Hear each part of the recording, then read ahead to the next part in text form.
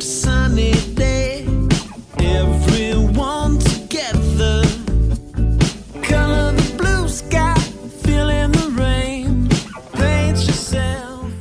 Hello there, I have an ink pad tip to share with you today. Has this ever happened to you? You're working and you're working and you have a lot going on and you have you're using a, a stamp and it's one color and then you go to another ink pad and you go like this and you go, oh, uh-oh. What do you do? Now, I will be honest with you. This happens a lot. Now, it also even happens to me, but uh, you see me a lot of times. I always cover my ink pads. I try to always cover my ink pads, but I'll be honest, this has happened to me. Now, in the past, I would just go, wow, and I would throw it away and I would buy a new one, or, but I have a tip to share with you.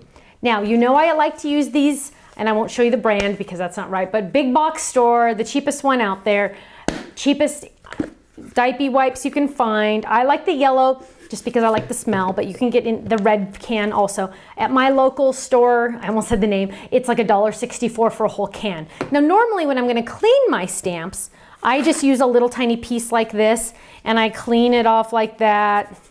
And sometimes if this isn't very dirty, I even put it back in the can and save it for later. So I have my nice clean stamp, but I have a sad looking ink pad, right? Well, let's bring that guava ink pad back to life. So what I'm gonna do is I'm gonna take a brand new wipe and I'm simply just going to start wiping it away. And you're gonna say, oh my goodness gracious. Now, it's not ruined. Don't worry, you don't have to throw this ink pad away. But you'll probably have to re-ink it after we kind of soak up all of this. So what I'm doing is I'm literally just kind of wiping away that black ink and I'm gonna get another wipe so for the cost of a two or three wipes, you're gonna get a brand new ink pad, don't worry. So the world is not gonna end.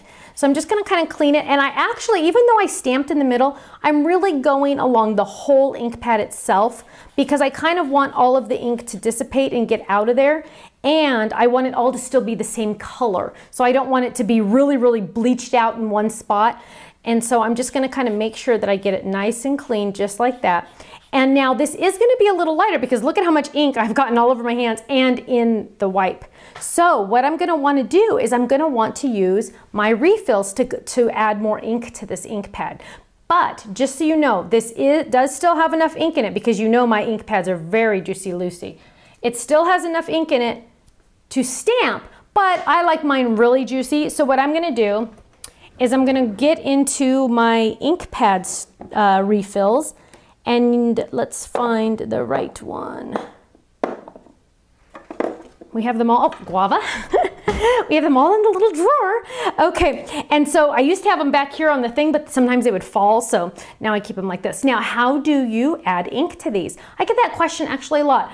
In all honesty, there's no right, there's no wrong way, there's no right way. I guess you could add the whole bottle and that would be a wrong way. But what I like to do is I just like to, especially where it's really dry, you can kind of tell, I just add ink like this and I kind of rub it in as I go. Now, Faylene does it a little differently than I do. I'll show you my way first. And I'm kind of squeezing the bottle just lightly. And then without squeezing the bottle, I'm just gonna run over it like this. And you'll see the little bubbles because there's so much ink being put into this ink pad. They are such great little sponges. So I'm just gonna kind of rub it in just like that. Now, instead of using the tip like this, Faylene uses a stamp which is great too. And you can, because that's a bigger surface. So if you want to, you can just rub your stamp along the surface.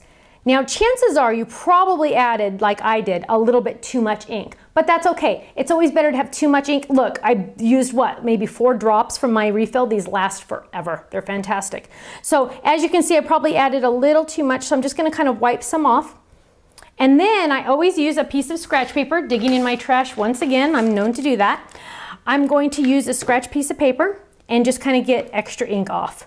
And you can see I have a lot of bubbles there, so I know I have plenty of ink. I want to do that three or four times just to make sure I get all the extra bubbles out. One more time. And now you can't even tell that I added that black ink in there. Isn't that awesome? Isn't that fantastic? Brand new ink pad. Just buy the refill. You never have to replace your ink pads and your refills will last you so long. I don't think I've ever gone through a whole refill before. To, I, no, I haven't. I never have. Now this one, of course, is still really messy, so I will get my wipies out to clean this one. So the next time you go, whoops, and use the wrong color on that ink pad, never fear. Couple little wipies here and a refill and you are ready to go once again. Thanks so much for joining me for this ink pad tip by Stephanie Barnard. Bye-bye. It's perfect sunny day.